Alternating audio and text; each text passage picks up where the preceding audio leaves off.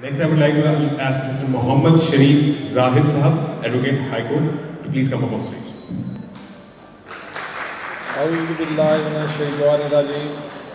बसमीम जनाब chairman falcon group Mukhtar कही साहब और मेम्बरान फाल्कन ग्रुप मैं आपका बहुत मशहूर हूँ कि आपने मुझे इस सिलेक्शन के लिए अपनी टीम में नामजद किया और मैं दूसरे दोस्त जो हाल में बैठे हैं, उनका भी शुक्रिया अदा करता हूँ। दोस्तों, इधर जो क्रैशी साहब का मशहूर है, उस पर हम मनो अन तस्लीम करते हैं और उस पर अमन दरामद के लिए अगर अल्लाह ताला ने इज़्ज़त दी तो हर मुमकिन कोशिश करेंगे। और इसके इन्फाज के लिए इसके मुफाद मुकला के मुफाद के लिए इसको हर तरह तस्लीम करेंगे।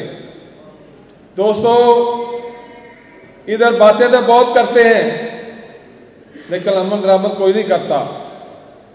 दोस्तों, मैं डिस्ट्रिक्ट बार कसूर में दो दफ़ा प्रेसिडेंट बार रहा हूँ।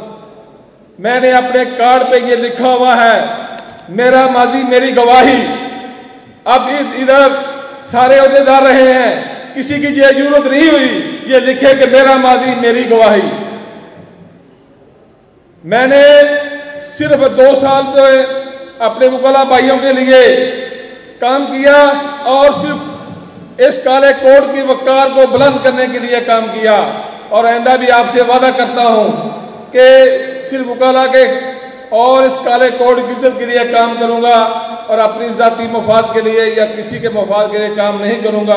और हर वो काम जो काले कोड के नुकसान पर जाता होगा, उसकी मुहालफत करूँगा। और मैं आपसे ये दरख्वास्त करता हूँ कि आप मेरे भाई मुझे अपना वोट देकर कसूर सीट पे कामयाब करें और मैं कामयाब होगा इन मैं हर तरह ये सब मंशूर पर अमल दरामद करूँ। शुक्रिया।